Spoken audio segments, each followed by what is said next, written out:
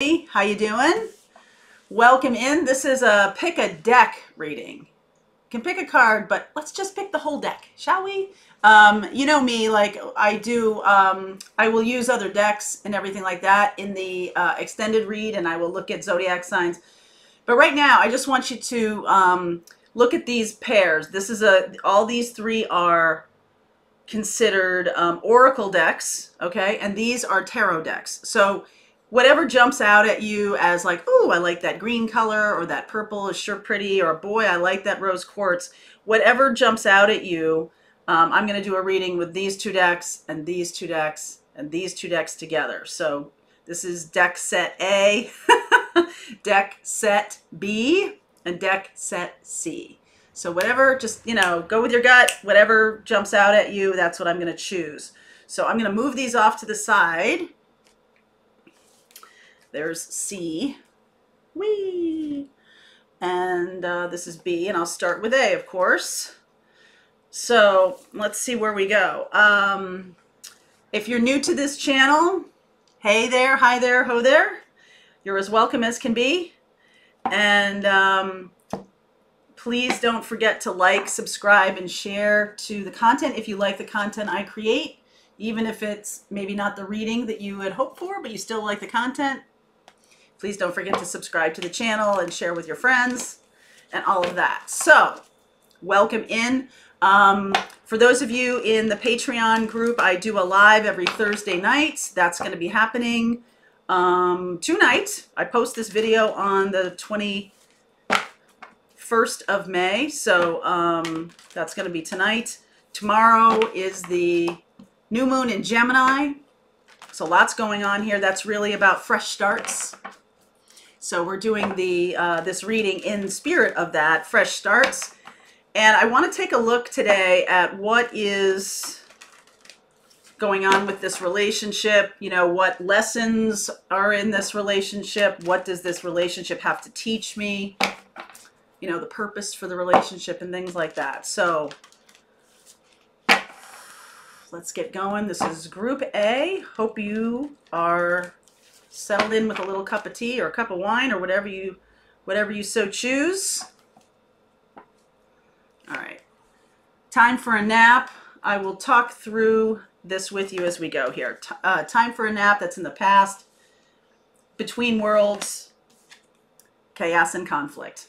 All right. So this is a dynamic relationship. Um, this is a three, the Between Worlds is a three card. The Chaos and Conflict is a 33 card.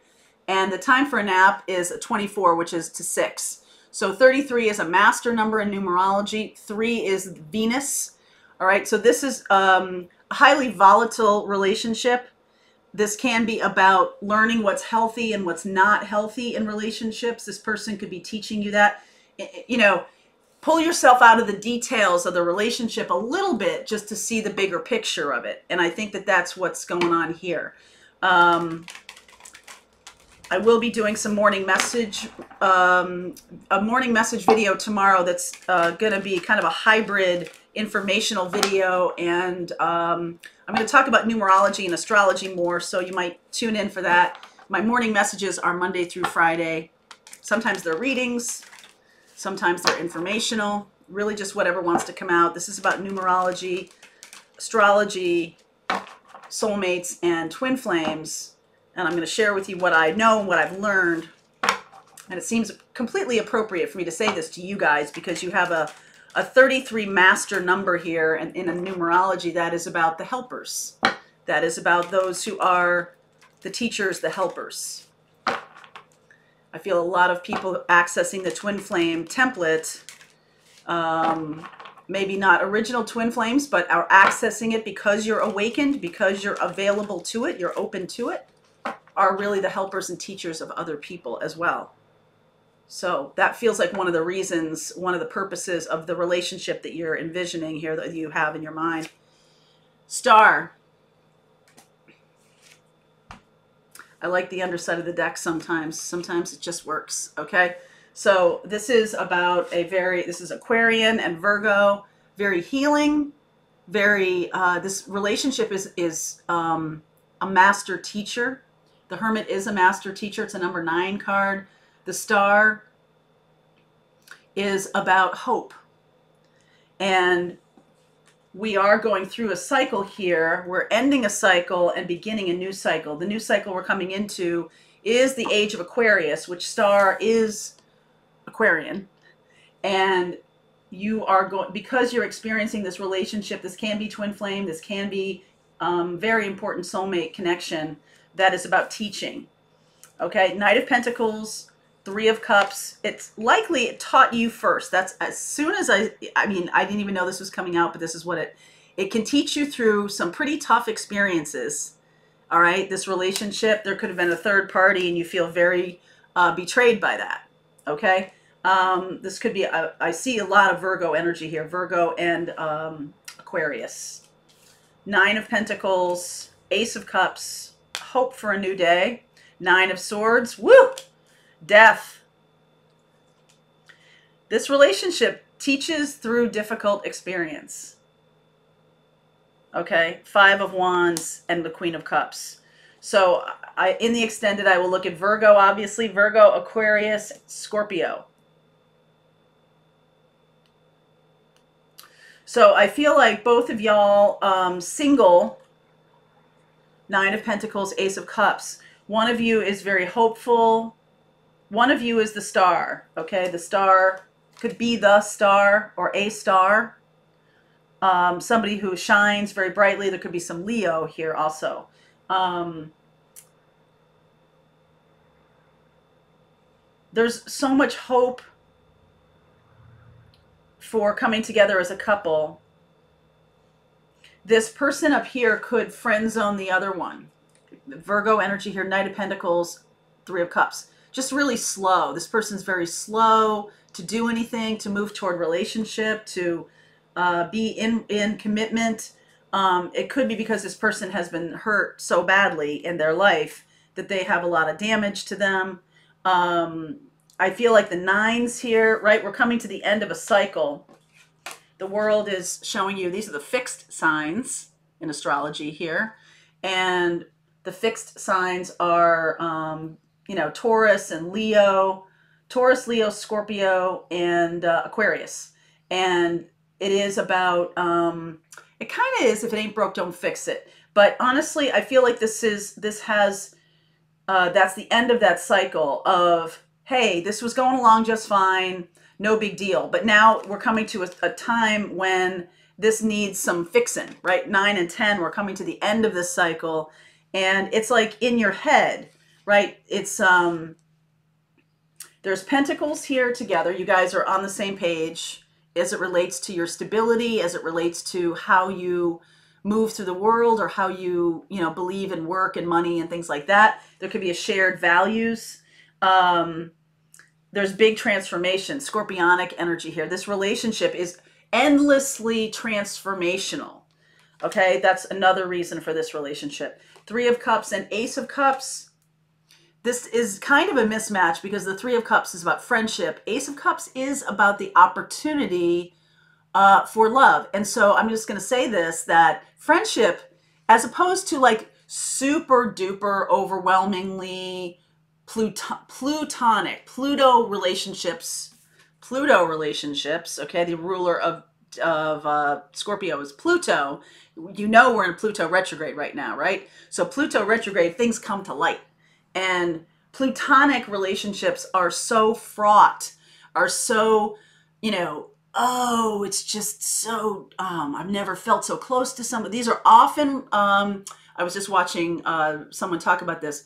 They're often mistaken for twin flames. And the relation, the re- reason for the relationship is to show you all of your unhealthy shit. Okay? And that is a crossover with twin flames. And I do feel because of the ascension that's happening and so many more people are awakening, people can access the twin flame template. It doesn't mean they're original twin flames or they're not original twin flames. It's like, I don't even want, I don't like the elitism of twin flame um, lore, okay? Because it feels to me like, well, there's just, it's so rare, okay? And it is rare. But the twin flame template exists for um, an evolutionary change the original twin flames are here to uh, allow other people to share the template and teach them about the difference between plutonic relationships, which are codependent relationships, which are difficult, um, endlessly hurtful, uh, narcissistic partners, things like that. That because the energy is so strong, the lesson is strong with those relationships, okay? And the lesson is also strong with twin flame energy. It's a different feel, though. It's a different feel. So the plutonic relationships, you can, and I will talk about this in the morning message video. Um, you can have, and actually on tonight's live in Patreon, because we talk a lot about twin flame issues, and I'm going to bring this up there. It is um, how to navigate that, how to discern um, the difference between a plutonic relationship and a twin flame relationship. Plutonic relationships are um, devastatingly um, hellish. That's where you have, and you know, you can call them uh, fake twin flames, or you can call them um, karmic, you know, karmic partners, or whatever they are. But it doesn't matter what the label is. The plutonic relationships are there to show you the baser, deeper things that really need to be healed. Do twin flames show that? Yes, they do and that's why those things those two things are um, not in conflict but they are um, often mistaken for each other okay? So this as a basis uh, friendship has created love. One person wants love. One person may still be in the friendship phase here. So there's struggle between the two. Okay? And so we're coming to the end of this cycle. One person feels anxiety. This is the Nine of Pentacles person feels anxiety. The Ten of Swords person, um, it's almost like they go from, um, it's almost like they go from happiness to depression. They could have some kind of bipolar thing going on. They could have some kind of uneven personality. And so they, they like their work because it evens them out. Okay. It evens out their personality. Um, so I'll talk more about the, the plutonic versus the twin flame because um, I feel like at the end of the day, the twin flames are much more about mission. Okay. And it's less about the, it's less about proving anything.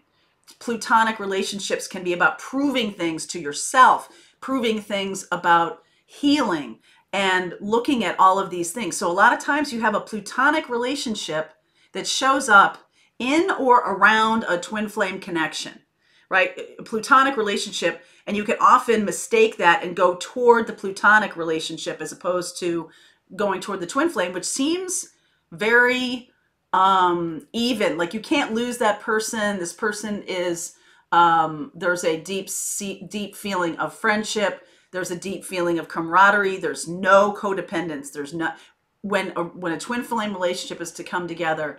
All of that stuff is healed. That's why it's like, thank you, plutonic relationship, because you're helping me go through all this stuff.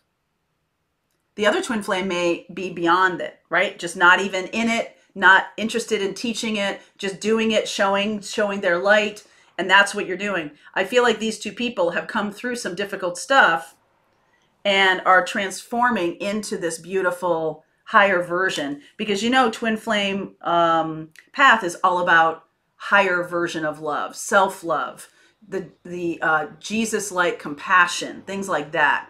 They're not down there in the depths of things like ripping each other apart. Okay?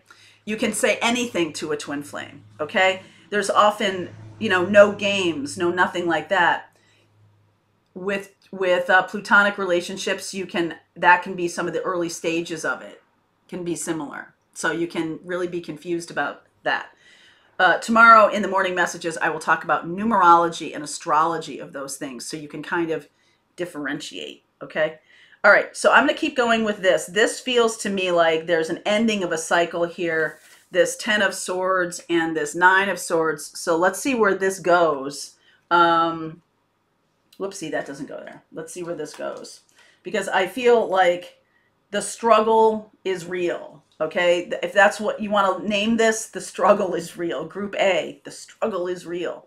Um, and also, I think there can be some kind of, you know, I was talking all about this twin flame versus plutonic relationship. I think you can see that in this situation. Like, which is it? Which is it? Okay, so group A, I'm going to continue on. Um, if this hasn't resonated with you, then group B is next. If you're looking for the extended for group A, that link is below. All right. All right, group B, how are you? So let's see what this relationship is about. I'm going to use this animal spirit deck. Get the energies of the relationship. Let's see where we go. Let's see where we go. All right, so what are the lessons? What is this relationship teaching me? I talked a lot about um, plutonic versus twin flame in group A. Canary spirit, sing your own song. This person uh, is in your life to help you gain more independence. Be here now, hummingbird spirit. Birds, beautiful. Electric eel spirit, bring your ideas to life. Wow, this person is here to help inspire you um, to get yourself out there, um, to shine your light, to show your so this person could be doing that in a negative way or a positive way, right? It can be this person is continually breaking up with you because you need to be independent, or this person is um, uh, helping to support you so you can do the work you need to do. All right, let's see more about this relationship, please. The purpose for this relationship. All right, underneath, King of Wands. This person is entrepreneurial by nature. This could be you or them, or bringing out your entrepreneurial spirit. Bring your ideas to life. That is the entrepreneur of the deck, the King of Wands. Sagittarian energy. Absolutely. Wow, Leo, fire sign. King of Pentacles. Oh my goodness. Wow. Two kings, Okay, and the other person, Five of Pentacles, Four of Pentacles, Knight of Wands. So if this person, if this person is here as a very strong, okay, a very strong, um, maybe very successful person, all right, to bring out your entrepreneurial spirit. They could also be somebody who doesn't have much, Five of Pentacles, Four of Pentacles, yet they're highly creative. That's more Sagittarian energy. And if that's you, that you don't have much, but you're highly creative, this person is here to help support you so that you can bring out your, uh, bring your ideas to life. If it's the other way around, if you're the one who is in this position, this King of Wands, King of Pentacles, um, this other person on purpose has no money so that you will do the work to make all the money. Okay there's you know see what i mean? Like positively or negatively this person is in your life to help you achieve success. All right so nine of pentacles wish granted. Lovers gemini energy wow. Libra energy balance. Balancing your wishes your your um your choices. This person is so interesting. The five of pentacles four of pentacles knight of wands. Kind of flighty, also kind of a lack mentality. All right. Three of Pentacles. You guys have to work together to achieve success. This person doesn't feel like they have any success. Whichever one this is, there's another king. They have it in them. Absolutely. Oh, oh wow. Wheel of Fortune. So I love this. Temperance and strength. Sagittarius and Leo. How can it work? How can we make this work? How can you apply what you know? How can you embrace new technology? How can you do that? How, how, how, how, how? Right? This person is very strong, obviously, strength. Um, this person has overcome many obstacles. They are the King of Pentacles. Um, this person can see you as the King of Wands, somebody who really needs to be out there in the world somebody who really needs to have the spark, um, uh, the fire to show what they know or show get through this lack mentality. Woo! Five of Pentacles and Four of Pentacles. Lots, very much lack mentality. Very much lack mentality. But look at this. This is all these the elements here. Cups, wands, pentacles, inspiration, financial security, coming from the heart chakra. It's likely that, and then I see air down here. So it says to me that this is an opportunity for you. This is an opportunity for you to really truly see your inner king. All right. If you're the one who has lack mentality, I'm not successful, I don't make a lot of money, um, I might flit from one idea to another because Sagittarius is all about focus. All right. And becoming an entrepreneur is about focus. So that's why Sagittarian with the arrows, right? It's like the arrow choo, going to your target, hitting your target. And the um it's got to be once you hit that target, it's got to be a singular um, progression toward that goal to go retrieve that that sword or not sword to go retrieve that um, arrow. Okay, and so you can't do that if you're all over the place, if you have lack mentality, all these things. I feel like the universe is bringing the two of you together. There's lots of balance here, lots of beautiful balance. The Temperance card and then the Gemini card so Sag and Gemini are opposite each other, right? Sag card is about philosophy. It's about big thinking. It's about um, learning something new, going to college, higher, um, higher education. The Gemini card is about pulling together systems. So you have to have the idea. The King of Swords is missing here. And what may be happening here is you might be missing the idea. You might be a little bit off um, off the mark by just a little bit. And so, you know, like if you leave Boston and you're like, well, I want to go to LA, but the the uh, compass in the plane is set just maybe a degree or two off, you can wind up in Mexico, right? And that's not where you want to go. So it is about as you fly a plane, you continually tweak and tweak and tweak and tweak throughout the entire flight. This is not a set it and forget it, although there are plenty of planes that can do that, right? Plenty of planes that you can set the exact coordinates, and that's kind of what you want, all right? That's kind of what you want. This kind of situation, because of the fire here, can be a tweak and a tweak and a tweak and a tweak. So if you are, you might be like, well, I want to become an author kind of book. There's lots of kind of books to write. I mean, as many as you can imagine, as many as um, your mind can grasp. There are, you know, how-to books. There's literature. There's um, there's puzzle books. There's, you know, there's just like a million different kinds of books. So what kind of book? What's the topic? And within that topic, there's just a million different ways you could tell the story. So this is about getting focused. Gemini is about systems, is about okay, what are the what are the ways that we're going to balance things by having systems? So you making choices here. I feel like this is a love relationship of somebody who is very accomplished already and someone who has probably more capability than the accomplished one. The accomplished one sees it like the King of Pentacles has made it. Okay? The King of Pentacles has made it. And through you know through some hard fought hard won knowledge here but the king of pentacles i feel sees this person the five pentacles four of pentacles knight of wands as the king of wands right?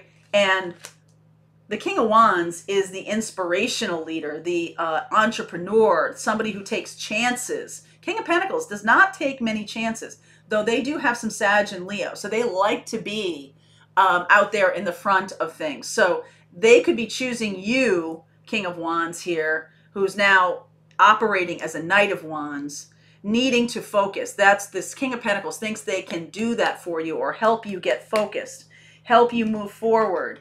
Um, the Wheel of Fortune is turning. uh, opening up your heart chakra. What is the idea? I think that's the missing piece here. The King of Swords is the missing piece. What's the idea?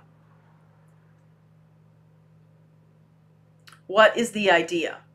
And this could have something to, there could also be some legal issues here.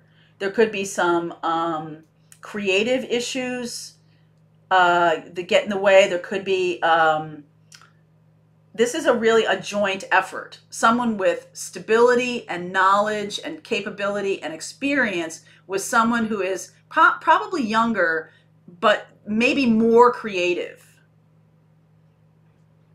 Okay, and part of this relationship, one of the lessons is to bring your ideas to life.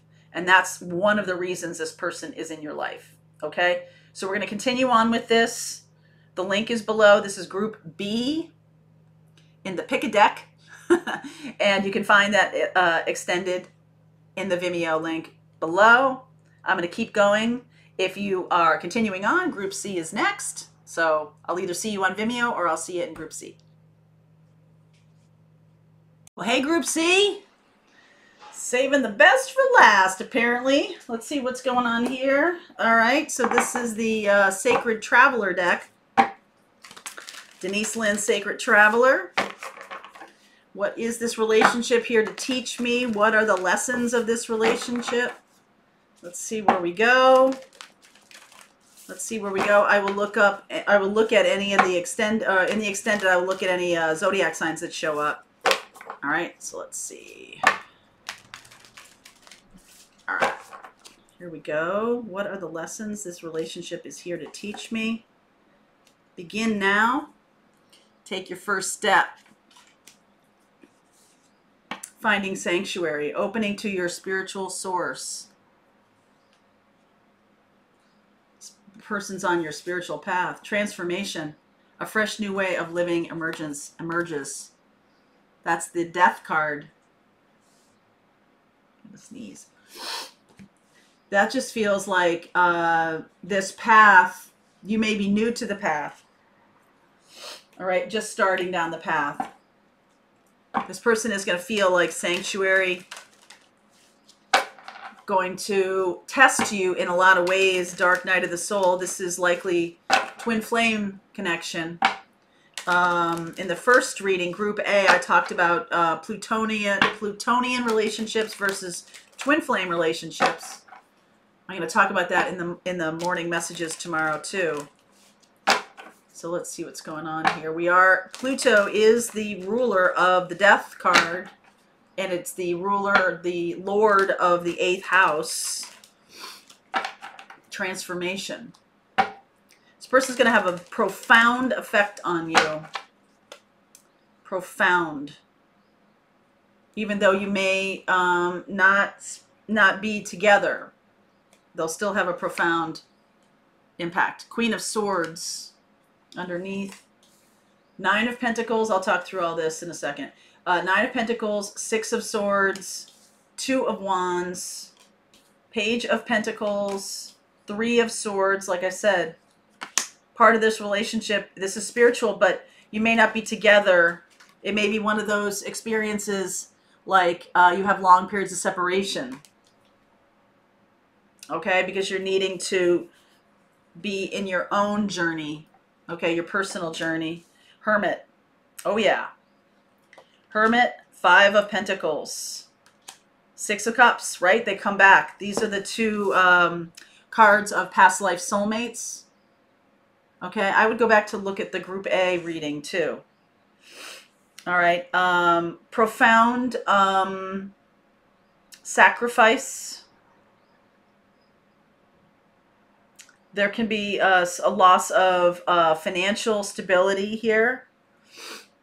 I feel like um, one of you is taking care of the other in some meaningful way, probably financially, Nine of Pentacles.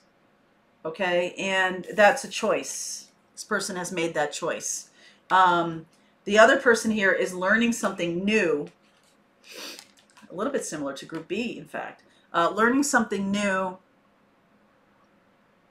about themselves, okay, based on loss, based on hurt, and um, becoming this person. You guys could be becoming um, spiritual leaders. Okay, leading other people. One of you might be a monk in terms of your spiritual practice that you're not really out there. The other person's out there. What's being healed here is uh, financial instability, spiritual instability, relationship instability, all kinds of instability are what's being healed here.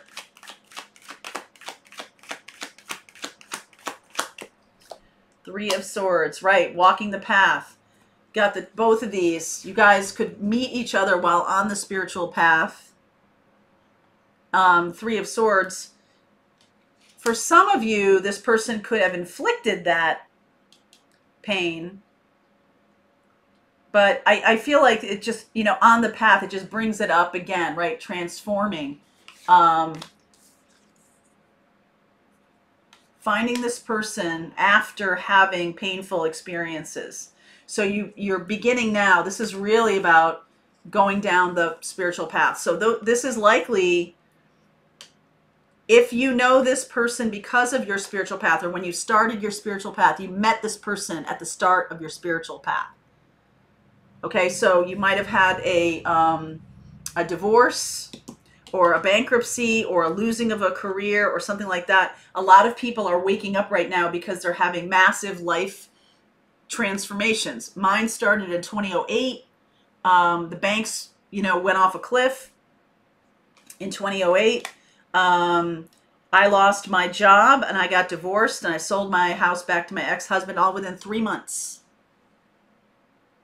And then within six months, I met my um, my twin. And then in the same time period, there was a plutonic relationship that was painful and and um, very uh, uh, charged. It was so uh, full of clinginess and unhealthiness and narcissistic patterns and karmic patterns and all of it. I assumed that was the twin. The other one who was just about supportive, um, even though there were some things that need to be healed within him and things that need to be healed within me, which is what is happening here. There is likely uh, one of you is also meeting another person that you may think is your twin, but that is a karmic partner. Okay, so that's what's happening here. And you may get you may leave the uh, the twin or the twin may, the the actual twin you may leave that behind because you still have some lessons to learn about um, your own your own personal lessons in this life. Things you're here to heal okay? Right things you're here to heal. Yes ace of swords getting clear on things. Two of pentacles there's two okay? Two king of cups I see Virgo. Let's see, Virgo. What's under here again? The Three of Swords, Judgment.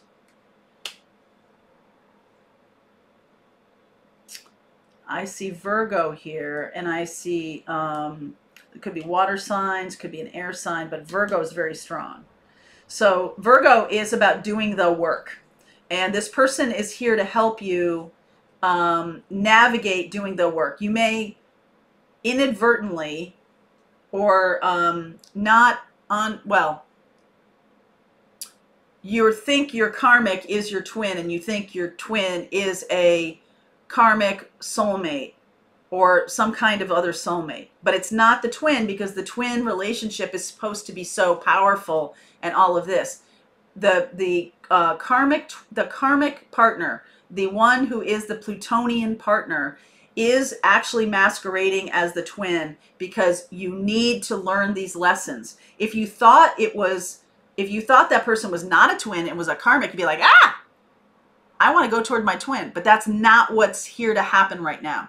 And you still, as you listen to this, you may be like, okay, well, no, this person really is my twin. I know it's really powerful and it, it really has some, you know, transformational properties to it and all of that stuff you're not really meant to see the clarity of who's who until much later. So don't worry about putting a label on any of this right now. the, the, the thing to do is healing the heartache, healing the low vibration um, as it relates to abundance and stability, as it relates to um, what you deserve in love. All of those things need to be healed. So you may actually be alone. You may actually, both of you may actually choose to walk this path alone. Those are singles. Um, and may not come back to each other for for some time, a period of time. Could be five years, two to five years here. But don't worry about that because you're going to be drawn toward the person who's going to teach you the most right now. This person keeps coming back and coming back, and you're like, it's got to be my twin. This person keeps coming back around. They keep showing up. This is past life stuff. Yes, it is. It most definitely is. And there's a reason why the person that you're thinking of as I'm talking about this, you could be like, no, that's definitely my twin. And here's the thing you're going to think that.